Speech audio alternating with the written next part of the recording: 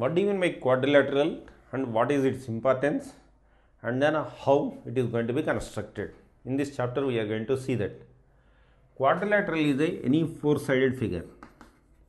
It is a any four sided figure. Now four sided figure may be any different dimensions it may be there.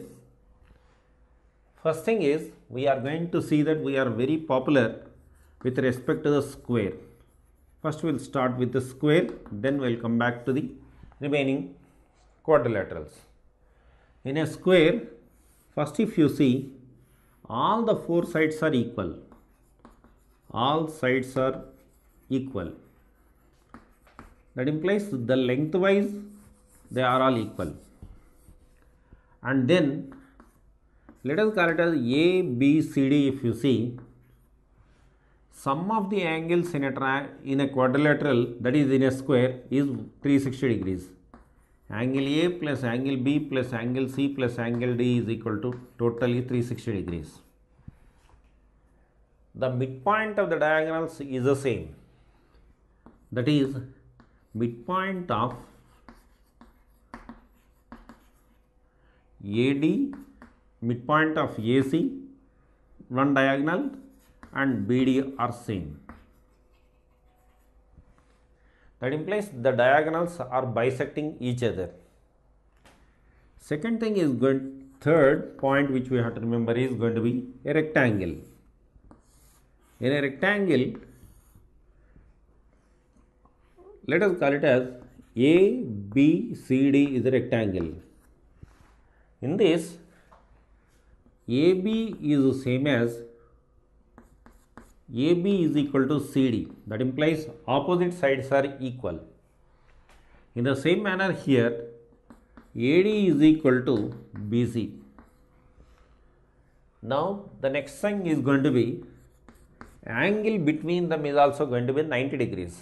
That is angle A plus angle B plus angle C plus angle D. Sum of these angles is equal to 360 degrees. That implies the angle A plus angle C is equal to 180 degrees. Angle B plus angle D is equal to 180 degrees. But sum of all these angles is equal to 360 degrees. The next point is going to be the midpoint of the diagonals is same. Midpoint of diagonals diagonals is the same. Now the next thing is going to be like this. Parallelogram, if you see the figure, let us call it as A, B, C, D is a parallelogram. Opposite sides are equal. Opposite sides are equal. Diagonals, the diagonals are AB the diagonals AC and then BD bisects each other bisects each other. Now the angle between them angle A plus angle B plus angle C plus angle D sum of the angles is equal to 360 degrees. But each angle is not 90 degrees that point you have to remember now, a little extension of this topic, a little extension of this figure is trapezium. Now, the next point is going to be, let us call it as this fourth point. Suppose a trapezium figure is going to look like this. In this, let us call it as A, B, C, D is a trapezium a, B, C, D is a trapezium. In this, sum of the one set of pair of opposite sides are equal. One set of pair of sides are equal.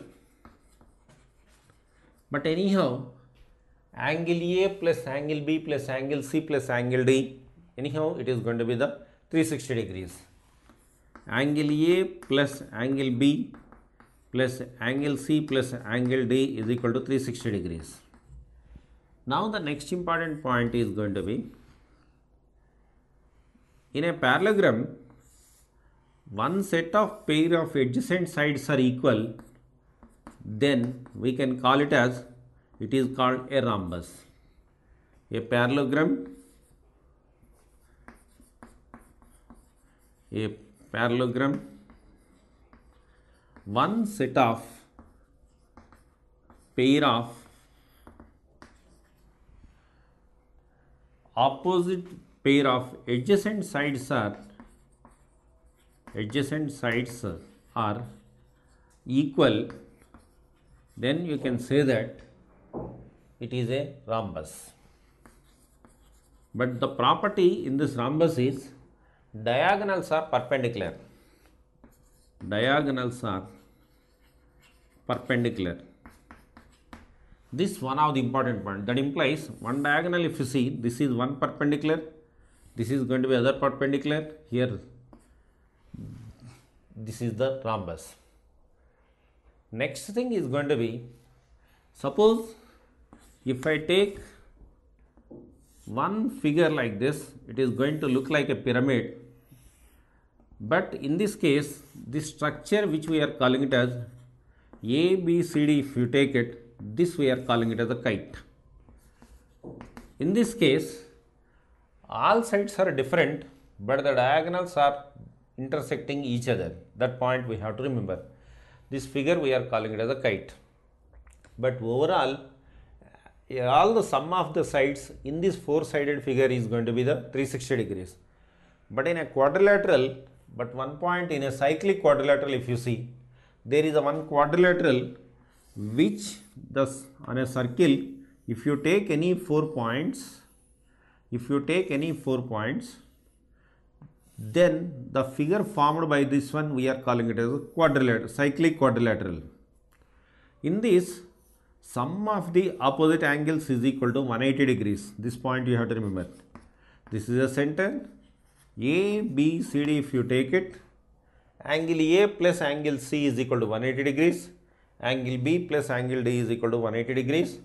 If this is a sum of the opposite angles that is angle a plus angle c is equal to 180 degrees.